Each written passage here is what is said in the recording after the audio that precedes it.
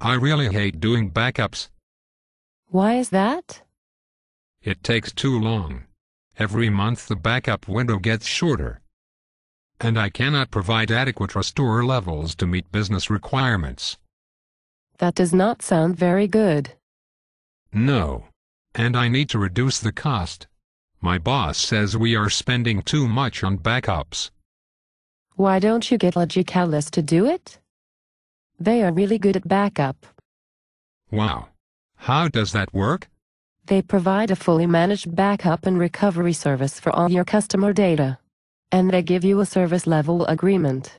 If they don't meet the SLA, they will pay a penalty rebate. Is it expensive?